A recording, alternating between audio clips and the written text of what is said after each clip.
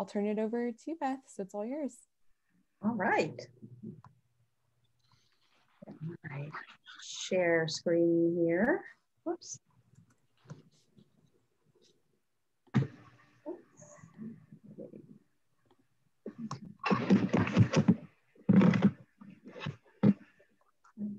Whoops. All right, let's try this again. There we go. Um,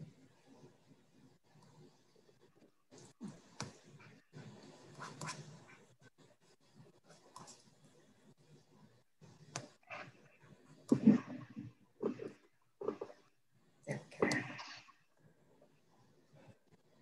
All right. So we're going to talk a little bit about founding and the women who founded our organization and um, how they got all this rolling. So, yeah. Um, your screen isn't shared. Are you wanting it to be It- shared? Is it not sharing? no, it was, I thought it was. Whoops. That's okay. Because back here, I'm sorry. No, you're good. It's technology. We're all making it work. Well, you know, and also the idiot at the control. Let's see. Do you see the green button at the bottom? Yeah, no, I've got the green button. It's just that the presentation keeps disappearing on me. Okay. So let me just, because I've got it. Okay, there we are. Share screen. Now, there you are. Okay. So. Are. Yes, there we go. Got it? Yep. All right. Okay. Everybody see that? Yes. All right. So we are going to talk about some extraordinary members and this brand new chapter that we're writing in Tri Delta's history at Sacred Heart. So, in the fall of 1888, uh, you have two senior students who were friends, um, Sarah Ida Shaw and Eleanor Dorcas Pond. Um, they had been discussing just kind of the situation with the three group groups, the sororities that were on campus there at Boston University. Um, Sarah and Eleanor had both been approached by the other groups, but they didn't quite feel that fit, you know, that that click that you get when, when you know the group's right. Um, and so they were talking and they thought, you know, why don't we start a group of our own? Um, and you know, you you know how the they wanted their society to, uh, as Sarah stated it, one that shall be kind alike to all and think more of a girl's inner self and character than of her personal appearance. That is a pretty extraordinary foundation to build an organization on. So Eleanor and Sarah, two really different backgrounds. Sarah was an only child. Her dad was a builder. Her mother was an Irish immigrant who came to America with her younger sister. Sarah attended girls' Latin school in Boston um, not long after it opened. This was a pretty extraordinary school for its time. It was at the time one of the only women's preparatory, college preparatory schools uh, in Boston. And um, so Sarah got a remarkable education there for young women at the time. And she had wanted to attend Wellesley. Um, but her mother became seriously ill. And because her tra- father traveled a lot, uh, she, Sarah, needed to stay close to home. So she decided to go to Boston University. Her friend Eleanor was an orphan. Um, Eleanor had lost both of her parents by the time she was 12 years old. Um, she went to live with a family friend who raised her and who she called Aunt. Um, she attended Medway High School in Medway, Massachusetts, and graduated at the top of her class. Um, she was attending Boston University on scholarship.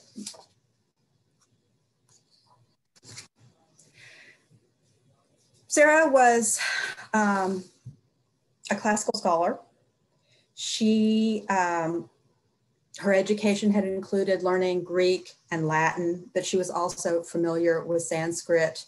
She was, um, had studied ancient cultures and mythology and was very fascinated by all of that. She was also um, very good at mathematics and geometry um, as well as astronomy. And she worked out all the original plans, very intricate plans for our um, ritual, for our badges, for our emblem. She wrote the constitutions. All of this, we were pretty much created as a whole. Um, now, Eleanor was also a brilliant student. She uh, was a lot more down to earth, a little bit more laid back. She was she was that friend that you have that always makes you smile. And um, so the two friends worked out their plans for the organization, and Eleanor was kind of the more practical of the two. When Sarah came up with this fabulous idea for these very elaborate badges with all these jewels. Uh, Eleanor goes, no, nobody's going to be able to afford that. Just let's let's keep it simple. Um, both of them commuted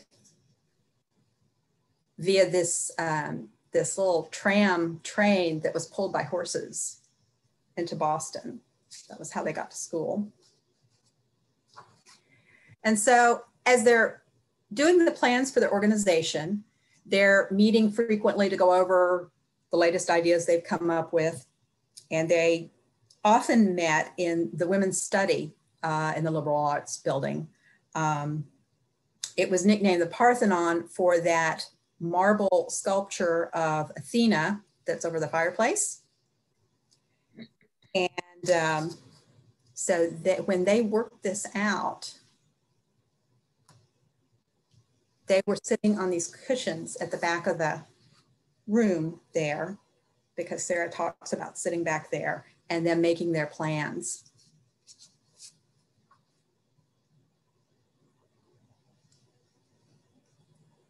So Tri Delta was really the first sorority to kind of been founded complete with ritual, symbolism, the emblems, down to our constitution and bylaws all the plans for ritual, everything, you know, how we, everything would be set up. Um, and the two se seniors finished their plans just before the Thanksgiving recess. Then one final meeting in the Philological Library at the top of the Liberal Arts Building. So they went over everything one last time. And then, um, as Sarah said, they embraced each other and said, Tri Delta is founded.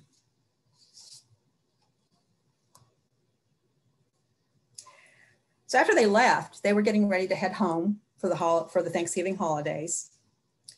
And you know, it's November, so it's getting dark and according to Sarah, there was a crescent moon out. And as they're talking, they realize that, you know, the other girls will be going through initiation, but they wouldn't. So, what would hold them? What would hold Sarah, and Eleanor. So in the shadow of Park Street Church, they swore fealty to Tri Delta before they headed off for the holidays. So they get back from the holidays, and now is the time to get to work. Now they've got to start recruiting people for their new organization. So, what do you do when you have this great idea that you're trying to recruit people to do? The first thing you do is go to your friends, right? And get them involved. So, that's what they did. The first prospective member was uh, Florence Stewart, who was a high school friend of Eleanor's. And I don't know if you can see the bar comes down on the side, but both Eleanor and um, Florence Stewart are listed on the high school graduates. They were the two top students in their class um, when they graduated. Florence, again, you know, like like Eleanor was easygoing. She was an again a very extraordinary student, um, and she was she was ready to go. She was she jumped right in on it. Um, their friend Belle Breed was not quite so quick to join their company. Um, she was very religious and had very strong convictions and wasn't quite sure how she felt about joining a sorority until they talked to her about the values that Tri Delta was built on, and she she agreed to join the membership. Junior Emily Allen, who went on to be our first Trident editor, um, worked with Sarah and Eleanor on the details for the initiation service to get the 14 members that they had collected to join this, the organization. And on January 15th, after they were coming back from um, the holiday break, they started initiating everybody. And the last, they did it in three initiations, and the last one they did at um, Emily's boarding house, which the building is still there.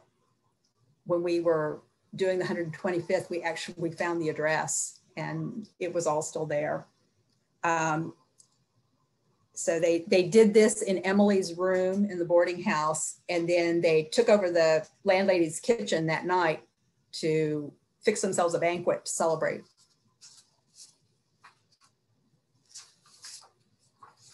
This was the first badge that Sarah had created.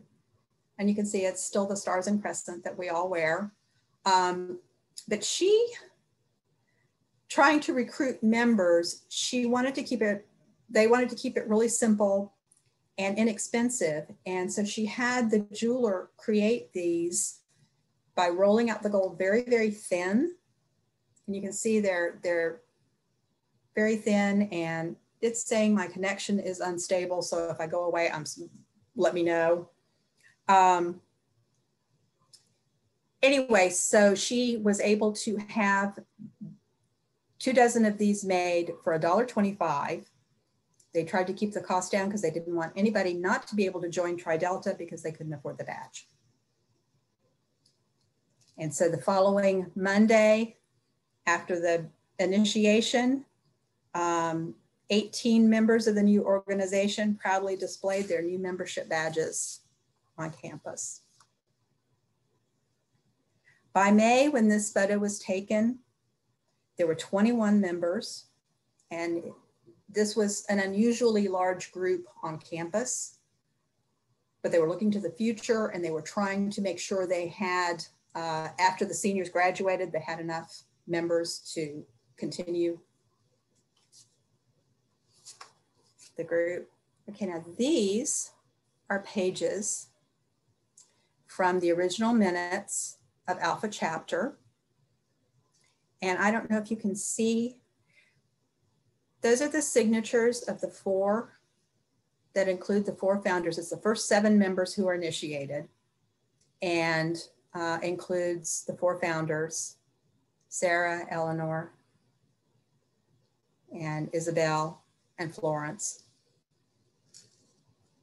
And it is part of this wonderful book that has all the minutes of the first meetings.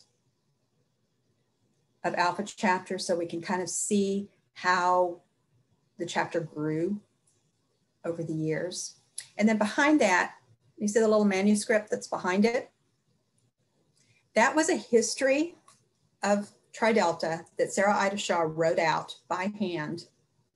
Um, she was intending to write our first history book, but she never quite got that far. And uh, Bessie Leach Priddy ended up writing the history book and using the manuscript that Sarah had written. But so much of what we know about the founding comes from this manuscript.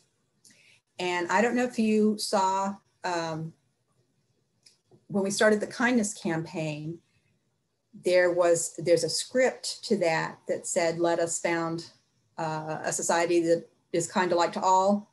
That we pulled that out of that, and that is actually in Sarah Ida Shaw's handwriting that we used for the campaign. So where to go from there? Tridelta was fortunate enough um, that a lot of its early growth we can uh, is due to two women, both Sarah Ida Shaw and Etta Mae Budd.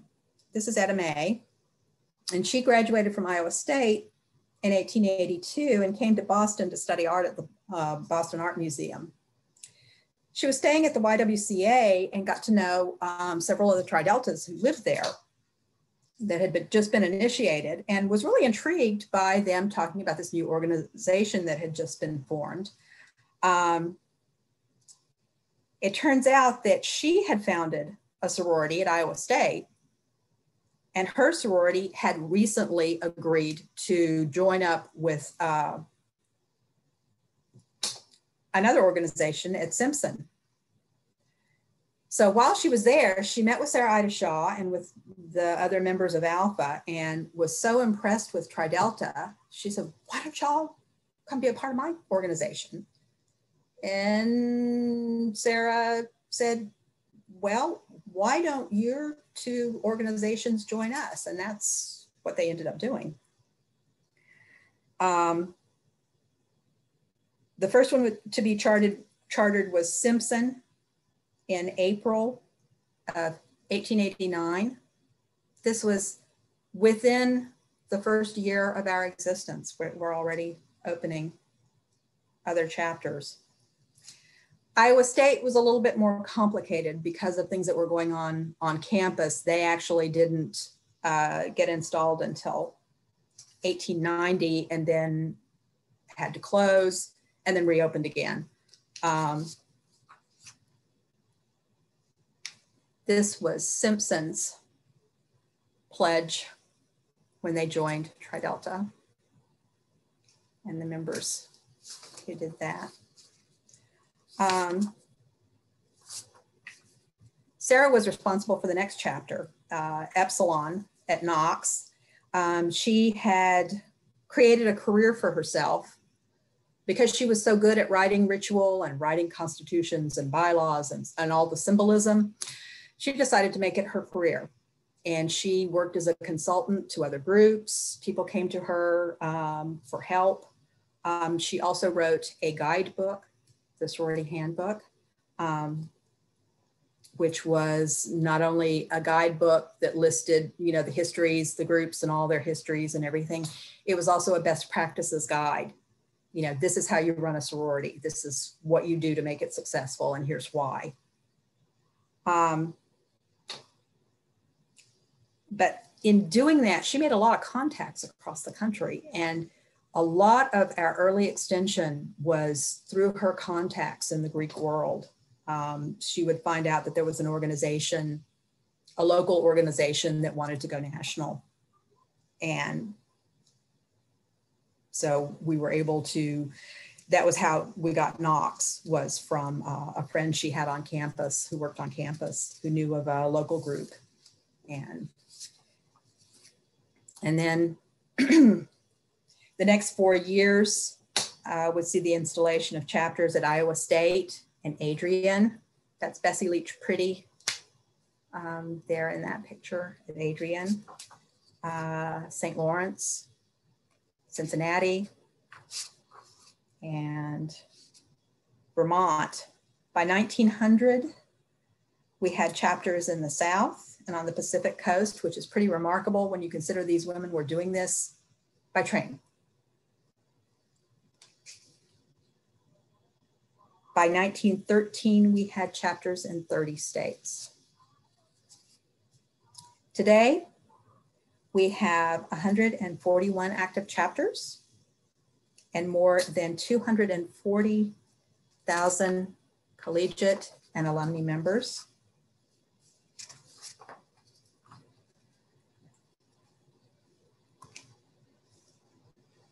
Things have changed since the days of Sarah and Eleanor penning those documents in the Parthenon at Boston University. But the timeless values that they based our organization on have not changed.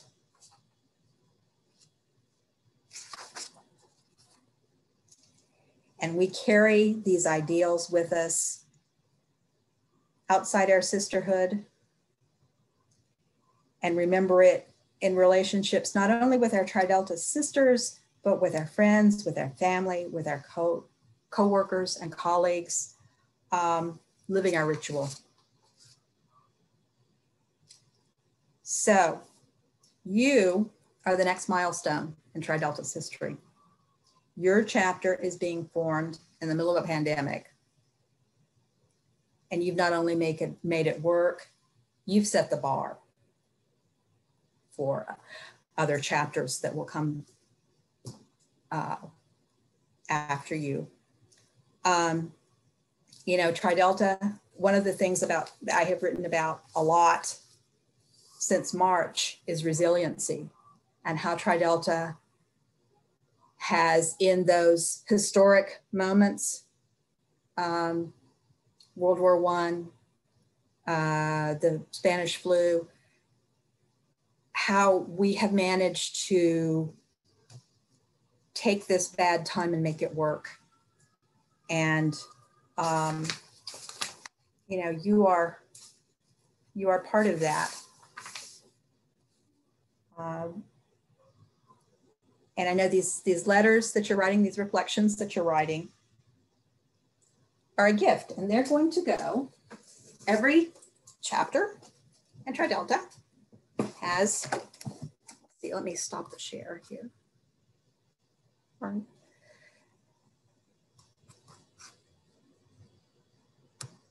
we go. Has this little box. And this one happens to be Butler because I was pulling some information for um, their redoing their house and I was pulling some old pictures. So it has photos, it has documents, it has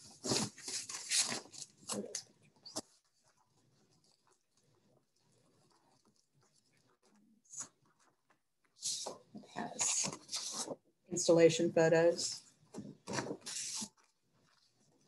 and lots and lots of history. Oh, here it is.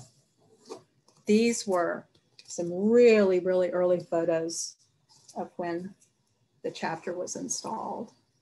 That's in Butler's book. The reflections that you write are going to be the things that people will celebrate when they come 25, 50 years now, when you're planning those big celebrations, they're going to look at those and go, Isn't this remarkable? They formed this chapter in the middle of a pandemic. And here's here's the women who were able to do that. Um, so it's a gift not only for your chapter, but for Tridelta as we go back and people, someone like me who's going to come write about how did Tridelta deal with life in a pandemic. Um, we had this remarkable chapter at Sacred Heart, and look what they did. And here are their thoughts of going through this. Um, so it's not just a gift to your chapter, is a gift to Tri Delta, and it's also kind of a gift to yourself. And um, thank you for writing those and sending those in, and we'll look forward to seeing them. Okay, so I've been talking a lot. It, I'm open for questions now.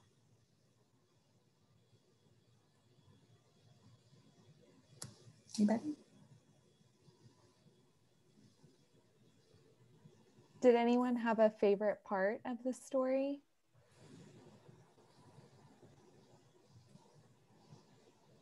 I liked seeing like the pictures from the founding of the first, or not the first, sorry, the like the one you just showed us um, from that other college. That was cool. It's really amazing. We have there's such a variance between chapters. I have some chapters where I have, you know, like with Butler, I have some lovely materials, and then some I don't. And you know, it, it's always great to have those when those occasions come up. Or if we're looking for photos for something that we're uh, we're going to be uh, publishing, a lot of times we want to pull historic photos. Anything else? I also had a question. Um, where did you go to college? I don't know if I, you told us that or not. Oh, I guess I didn't. Um, I went to TCU, Texas Christian in Fort Worth.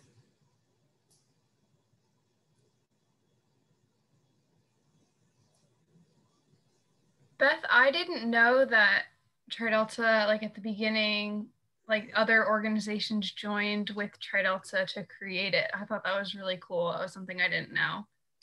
Yeah, they were. Now they weren't national groups at that point, but they were they were local groups, and um, you know, at in our earlier days, we we do new chapters one or two ways. We would go in and start from scratch, like we are at Sacred Heart, or there might be a local group. Um, you know, they're they're a one of a kind group, and they're not affiliated with anybody. They're just local to that campus, and but they want to go national.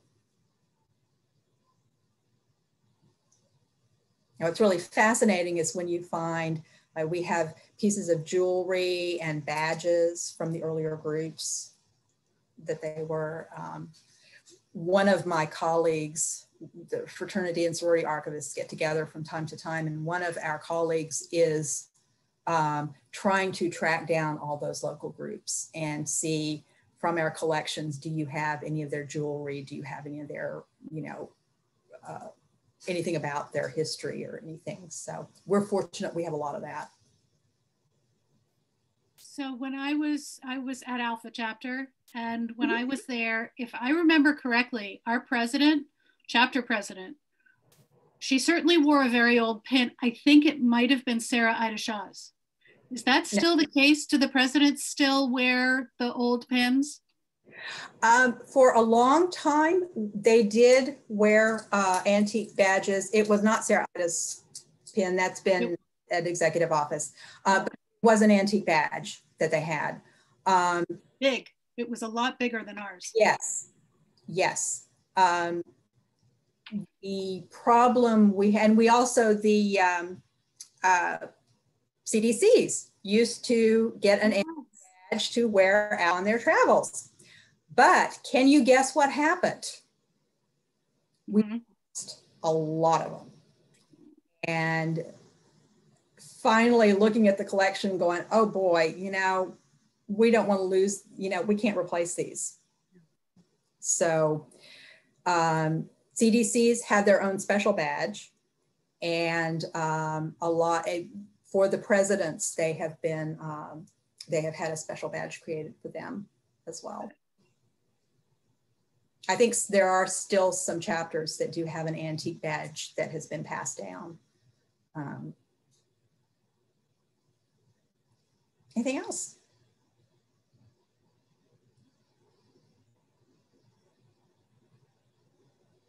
All right. Well, thank you, Beth. I'm going to show everyone. I put together a little slideshow of our alumna and some pictures they submitted just to give you all some inspiration on maybe some pictures you might want to send in for your chapter folder. So I thought maybe we could show you all some funny pictures. So here's some good throwback photos. Um, you can see here, if you look at this timestamp, it's like from this one says 1988. So it's just really funny to like look back at these old photos. Like I really enjoyed looking at some of them. We can see here like Haley, one of your advisors. This looks like her big little. So here's um, another one. Look at like all these jeans. It's just really fun to look at these old pictures. Um, even this wasn't even my chapter, but I really enjoyed looking at these things. So it's just like so important to keep these memories and make sure that you're documenting these really cute pictures and even scrapbook them. Like over here, you can kind of see a scrapbook that was put together.